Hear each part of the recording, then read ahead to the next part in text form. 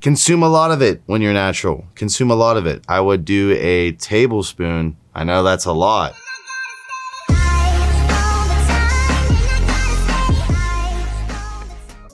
What is up, everyone? It's Russo. I hope everyone is doing well. ASMR Sip is some 1907. Check them out in the description. The best gym water.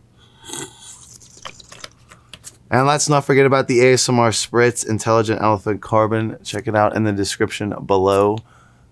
I mean, you can hear the spritz noises, but you gotta buy it with coupon code Russo and smell it. Today is just a quick video on a natural training tip for natural bodybuilding. I know this is the enhanced bodybuilding channel with the PED abuser Russo, but I did want to give in one little tip for all my hardcore natty for life guys to have more muscle fullness, muscle density, muscle hardness, and better strength in the gym. It's very simple. I'm not here to sell you nothing on this video.